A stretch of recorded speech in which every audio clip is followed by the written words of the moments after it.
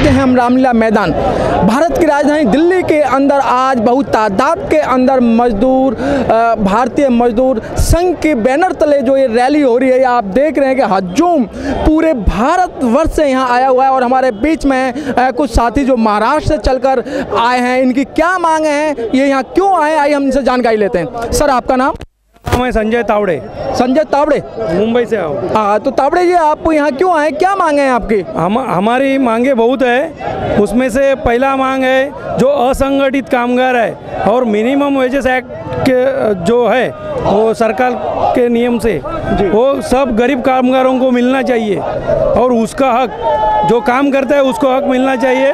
उसका जो veg veg minimum wage रहता है वो मिलना चाहिए। अभी पारित किया था। उसके बाद में फिर भी जो फिर भी गवर्नमेंट सरकार ने वो उसका अंतिम आदेश पेमेंट वार्ड का दिया नहीं है। इसके लिए हम लोग को ये रैली करना पड़ता है।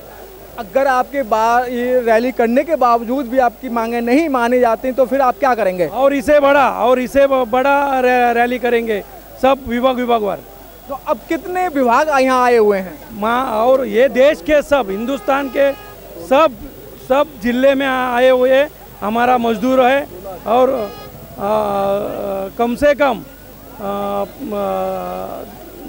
राष्ट्र राष्ट्र राज्य में ये सत्रह अठारह बीस राज्य में से आ, लोग इधर आए हुए हैं।